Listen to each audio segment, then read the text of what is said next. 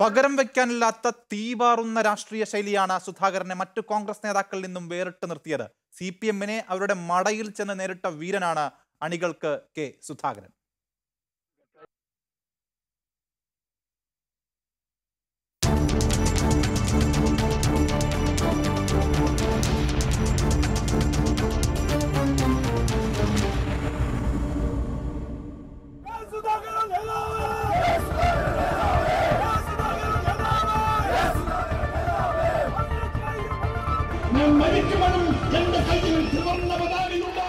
കുമ്പക്കുടി സുധാകരൻ അഥവാ K Sudhakaran.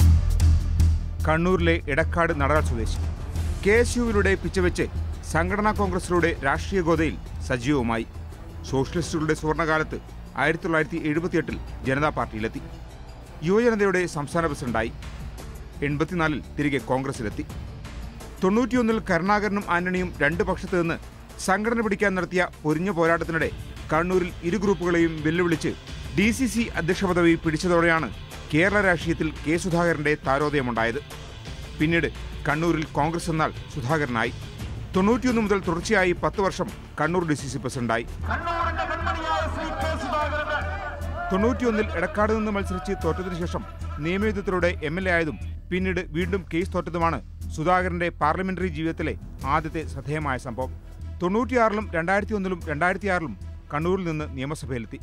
A K Antony മന്ത്രിസഭയിൽ വനമന്ത്രിയായി. വിവാദമായ മുത്തങ്ങാബൂ സമരവും ആദിവാസികൾക്കെതിരെയുള്ള വെടിവെപ്പും നടന്നത് ഇക്കാലത്താണ്.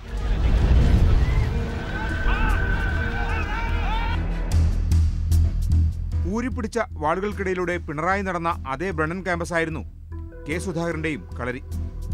പൂർവ വിദ്യാർത്ഥിയായിരുന്ന പിണറായിയുമായി ക്യാമ്പസിൽ സുധാകരൻ കൊമ്പുകോർത്ത കഥ ആരാധകർ ഇപ്പോഴും പാടി നടക്കുന്നുണ്ട്. കണ്ണൂരിലെ അക്രമ രാഷ്ട്രീയത്തിൽ അതേ നാണയത്തിൽ സി പി എമ്മിനോട് കൊണ്ടും കൊടുത്തുമാണ് സുധാകരൻ മുന്നോട്ട് പോയത്. മിക്കപ്പോഴും സുധാകരനെ തെരുവിൽ നേരിട്ടു സി പി എം. പൊതുവെ സമാധാനപ്രിയരായ കോൺഗ്രസുകാരെ ആയുധമണിയിച്ചു എന്ന ആരോപണം അന്ന് സുധാകരനെതിരെ ഉയർന്നു. തൊണ്ണൂറ്റിമൂന്നിൽ സുധാകരന്റെ ഗവൺമെന്റ് വെടിയേറ്റ് സി പി എം പ്രവർത്തകൻ നാൽപ്പാടി വാസു കൊല്ലപ്പെട്ടു. സുധാകരനാണ് വെടിവെച്ചതെന്ന് സി പി എം ആരോപിച്ചു. കേസിൽ പ്രതിയായി. എം വി രാഘവൻ കൂടി യു ഡി എഫ് പാളയത്തിലെത്തിയതോടെ സുധാകരനും സി പി എമ്മും തമ്മിലുള്ള വെല്ലുവിളി മുറുകി. എ കെ ജി ആശുപത്രി ഭരണസമിതി പിടിച്ച് സുധാകരൻ സി പി എമ്മിനെ വിരട്ടി. കണ്ണൂരിലും വടക്കൻ കേരളത്തിലും സുധാകരൻ കോൺഗ്രസുകാരുടെ ഹീറോയായി. സുധാകരന്റെ രാഷ്ട്രീയ ജീവിതത്തിലെ കറുത്തേടാണ് ഇ പി ജയരാജനെ ട്രെയിനിൽ വധിക്കാൻ ശ്രമിച്ച സംഭവം. കേസിൽ സുധാകരൻ പ്രതിയായപ്പോൾ അക്രമരാഷ്ട്രീയം നേതാക്കളിലെത്തിയെന്ന അപായ സൂചന നൽകി. കേസ് പിന്നീട് തള്ളിപ്പോയി.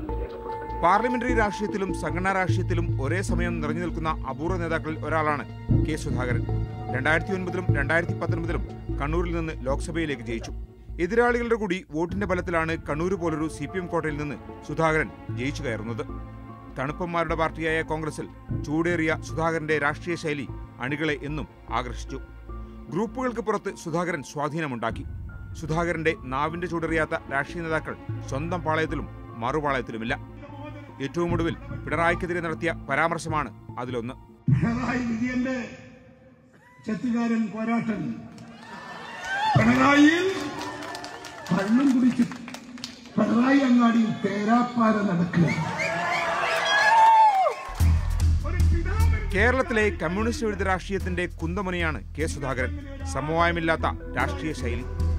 ഏത് പ്രതിസന്ധിയിലും കളത്തിലിറങ്ങി കളിക്കുന്ന മുന്നിൽ നിന്ന് നയിക്കുന്ന നേതാവ് നാവിലെ വികടസ്വരസ്വതി പലപ്പോഴും വിനയായിട്ടുണ്ട് സുധാകരന്.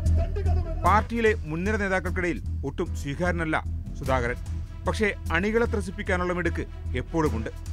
ഇത് സുധാകരന്റെ രണ്ടാം ഇന്നിങ്സ് മറ്റൊരു വടക്കൻ ചേകവരായ മുല്ലപ്പള്ളി തോറ്റെടുത്ത് ജയിക്കാനാണ് കുമ്പക്കുടി സുധാകരന്റെ വരവ്. പ്രതിബന്ധങ്ങളാണ് മുന്നിൽ ഏറെയും. Shahjahan Asian news Kozhikode.